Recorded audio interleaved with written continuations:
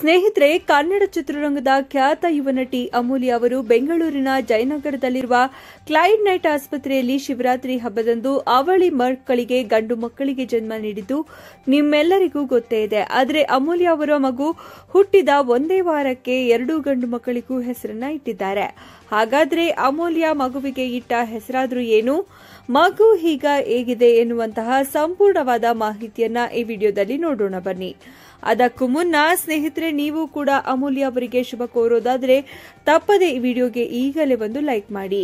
ಹೌದು ಸ್ನೇಹಿತರೆ, ಅಮೂಲ್ಯ ಅವರಿಗೆ ಎರಡು ಮುದ್ದಾದ ಗಂಡು ಮಕ್ಕಳು ಹುಟ್ಟಿರೋದ್ರಿಂದ ಆ ಅಭಿಮಾನಿಗಳು ಸಂತಸದಿಂದ ಸಾಮಾಜಿಕ ಜಾಲತಾಣದಲ್ಲಿ ಕಮೆಂಟ್ ಮಾಡುವ ಮೂಲಕ ಶುಭವನ್ನ ಕೋರಿ ಕಮೆಂಟ್ ಬಾಕ್ಸ್ನಲ್ಲಿ ಅಮೂಲ್ಯ ಅವರ ಹೆಸರಿನಿಂದ ಎ ತೆಗೆದು, ಜಗದೀಶ್ ಅವರ ಹೆಸರಿನಿಂದ ಜೆ ತೆಗೆದು, ಇಬ್ಬರು ಗಂಡು ಮಕ್ಕಳಿಗೂ ಕೂಡ ಅಜಯ್ ವಿಜಯ್ ಅಂತ ಹೆಸರಿಡಬೇಕು ಅಂತ ಅಭಿಮಾನಿಗಳು ತಿಳಿಸ್ತಾ ಇದ್ದಾರೆ.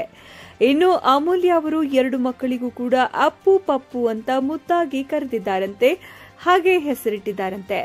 ಏನೇ ಆಗಲಿ ಸ್ನೇಹಿತರೆ, ಆ ಎರಡು ಮಕ್ಕಳಿಗೂ ಕೂಡ ಆ ದೇವರು ಆಯುಷ್ಯ, ಆರೋಗ್ಯ ನೀಡಿ ಸಂತೋಷವಾಗಿಡಲಿ ಅಂತ ನಾವು